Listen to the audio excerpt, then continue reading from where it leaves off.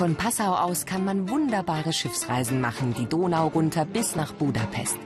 Wenn das Ehepaar Tripp dieses Gewusel hier am Schiffsanleger sieht, wird es an sein eigenes Fiasko erinnert. Auch die beiden wollten eine Kreuzfahrt machen. Nicht auf der Donau, die kannten sie ja schon. Für sie sollte es weitergehen. Sie reizte der hohe Norden. Norwegen ist ja einmalig. Schon. Die Lofoten ja. oben da und dann die Fjorde.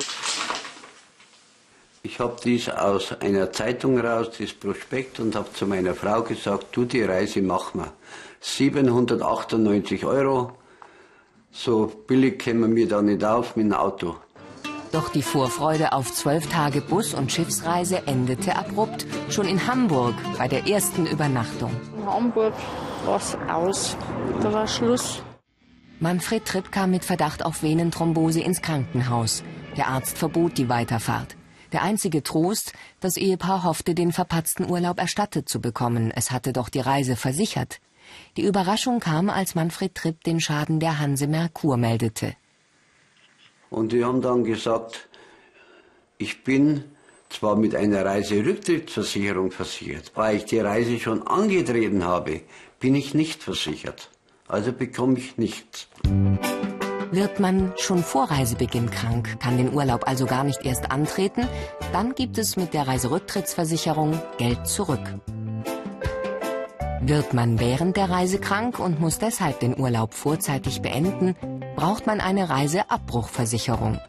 Und genau die hatte das Ehepaar nicht. Manfred Tripp dachte aber, er sei rundum gut versichert, als er wie vom Reiseveranstalter empfohlen die beigefügte Reiseversicherung abschloss. Für 50 Euro ein Schnäppchen.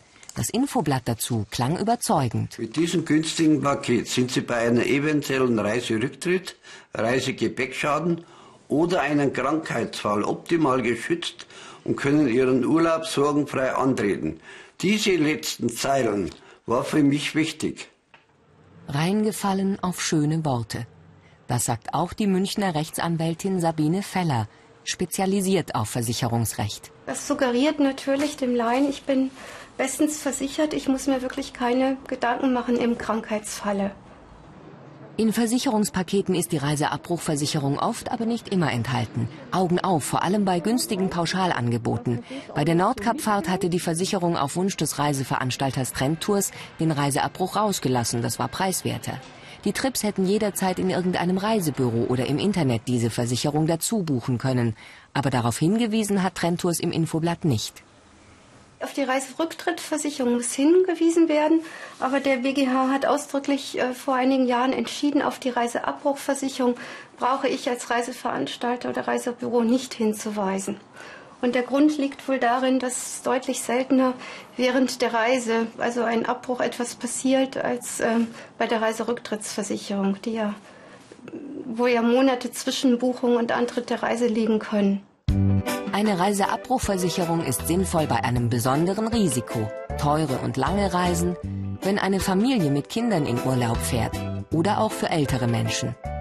Unfälle und auch unerwartete schwere Krankheiten während der Reise sind damit abgesichert. Ich würde empfehlen, gerade wenn man vielleicht mit dem Internet nicht so vertraut ist, zum Beispiel bei älteren Herrschaften wie hier den Trips, doch konkret im Reisebüro nachzufragen, sich auch ein Paket zusammenstellen zu lassen, es nicht selber zu machen und dann unter Umständen auch zu Hause nochmal zu prüfen, habe ich jetzt nun wirklich das, wofür ich glaube, versichert sein zu müssen, mit eingebaut.